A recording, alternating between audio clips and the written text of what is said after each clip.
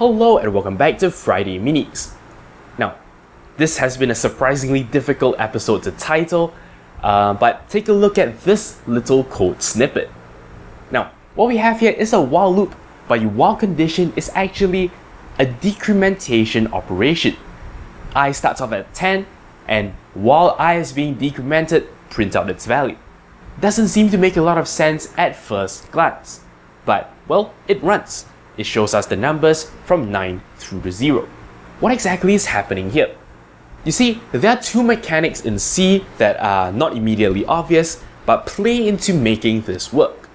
First, and probably what is more broadly known, is that in C, you don't have true or false.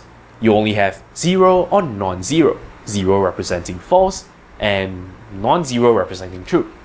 In addition to this, you'll need to know that the incrementation operation actually returns the value of the variable in question. In this case, I'm using the postfix decrementation, and what this gives me is the value of i before it is being decremented. Hopefully this makes more sense now, because we can now read the statement as while 10. Being non-zero, 10 is treated as true, and the loop runs. At the same time, while doing this, right i minus minus evaluates to a decrementation of i. And therefore in the next iteration, it becomes while 9. This repeats until eventually i itself has the value of 0. This causes the while loop to terminate, and as a result, you see the numbers printed out in this order.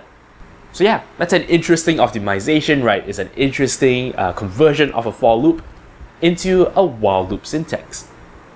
Of course, this is far less readable, I wouldn't recommend this, but well, you can do that. Of course, certain variants are available as well. For example, if I were to use prefix decrementation instead, prefix decrementation returns you the modified value, not the original value of i. And as a result, our loop now stops at an earlier place.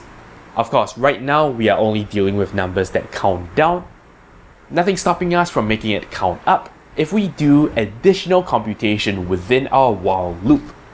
Again, this makes things far less readable, but by doing things this way, we can actually count up, you know, properly from 0 to 10. Because we're doing a subtraction here, the effect on the condition part is exactly the same, right? It starts off non-zero, and it eventually drops all the way down to 0, causing the loop to terminate. So yeah, just a very interesting approach to writing loops, Again, I wouldn't recommend this, you know, in any context other than as a novelty because it affects the readability of the code. And remember, we like our code readable.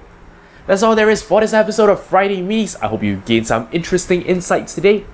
But yeah, until next time, you're watching 0612 TV with nerdfirst.net. Thank you very much for watching. If you like my work and are feeling generous, you can shoot me a one-time donation on PayPal or sign up for a recurring one on Patreon.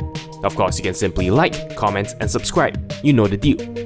For more videos, links to my channel and a related playlist are on screen. Thank you for your support.